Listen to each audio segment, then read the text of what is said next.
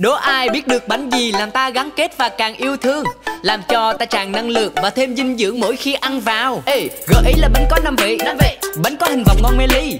Sô-cô-la trắng, đen, cam cùng kem phô mai và kem. Yo, bánh là bánh mà có hình vòng. Thơm thơm ngon tới năm vị. Nghe là thấy độc nhất vô nhị. Chỉ có thể là bánh đu quỵt Đu quỵt, đu quỵt donut. Đu quỵt, đu quỵt donut. Đu quỵt, đu quỵt donut. Đu quỵt, đu quỵt donut.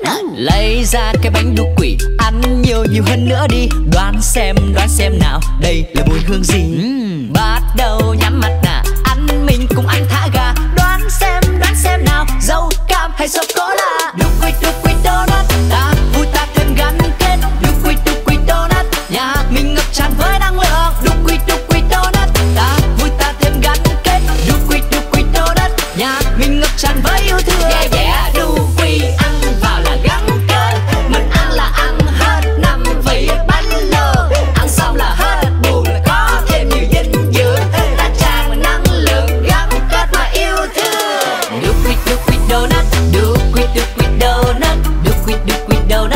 Look with, look with donuts.